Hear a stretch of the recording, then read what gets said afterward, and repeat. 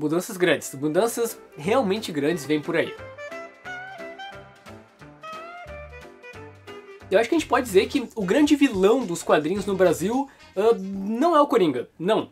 É a distribuição. A distribuição complica a vida do leitor, da editora, do até pode acreditar, a vida dos autores acaba sendo complicada. Nessas últimas férias eu fui pro Nordeste e, e lá encontrei uma, uma galera que coleciona quadrinhos e eles comentaram que, pô, aqui não chega gibi, sabe? Chega a numeração chega atrasada, enfim, a distribuição no, no Nordeste é ruim.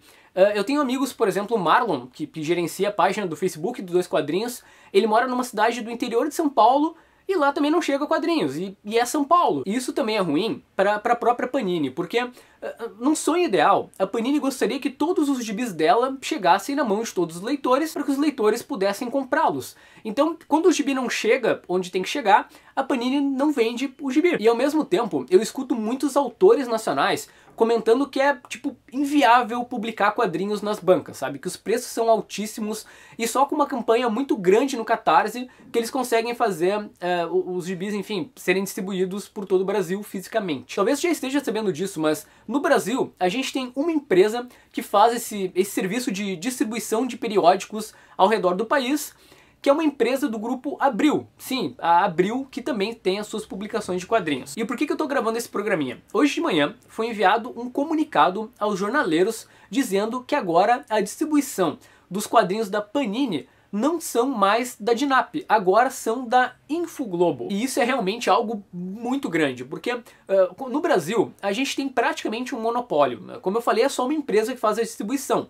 Antigamente tinha duas, só era Abril e mais uma. Só que Abril foi lá, comprou a concorrência e aí, enfim, acabou ficando com, com, toda essa questão da distribuição. Então, distribuição de quadrinhos é com eles, sabe? E de repente a Panini uh, saiu disso e vai trabalhar com outra empresa. Isso gera, assim, uma paz de dúvidas. Como é que Abril reagiu? Sabe? Porque pro, provavelmente, assim, a Panini era um dos grandes clientes dos caras.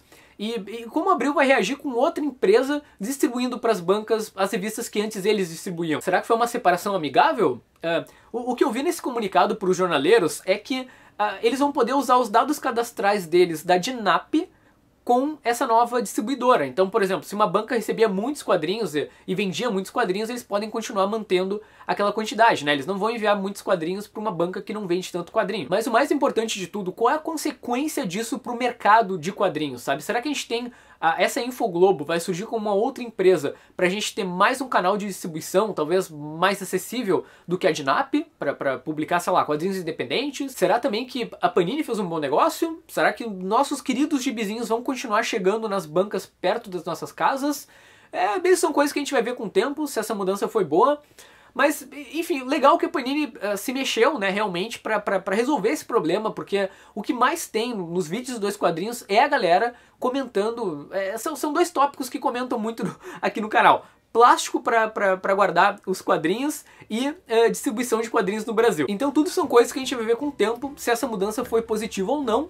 Uh, e eu já estou em contato com a assessoria de imprensa tanto da Panini quanto da DINAP. E eu também vou tentar com a da Infoglobo para trazer mais informações e, e, investigar mais este caso, vamos dizer assim, uh, jornalisticamente falando. Me desejem sorte, eu espero que eles respondam, né, no mínimo. E é isso, aguardem outro programinha com um pouco mais, um pouco mais de informações. E comenta aí embaixo, tu tem problemas com distribuição, tu tá feliz com essa mudança, tu acha que pode ser uma boa? Uh, era isso, tá? Tchau, tchau.